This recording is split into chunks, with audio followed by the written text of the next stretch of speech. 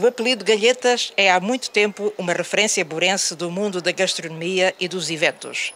Criado pelo patriarca da família há 47 anos, esta referência tem sabido adaptar-se aos novos desafios e a família, mais concretamente os herdeiros diretos, têm dado continuidade e expandido o projeto. Estamos a comemorar os 47 anos da empresa, que é muito importante.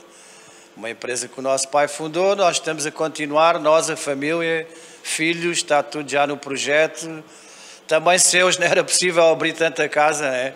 mas felizmente o projeto está a ter continuidade já com os filhos também. Pai, está a correr muito bem. Hoje em dia a empresa Galhetas tem cinco espaços em Évora, um deles uma quinta de eventos, que é a mais conhecida. Temos três espaços na Alcárqueva de Baixo. E na temos um que é uma petisqueira, que é mais à base dos petiscos. O outro também tem uma cozinha já mais elaborada, que é o Alecrim.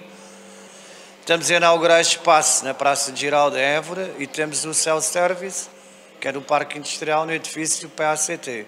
Durante este ano contamos ter muitas iniciativas para comemorar os 47 anos da empresa e vamos ver como é que corre. O futuro aparenta ser risonho e ambicioso para a família Galhetas, com mais projetos que prometem ser inovadores, mas com alma Galhetas.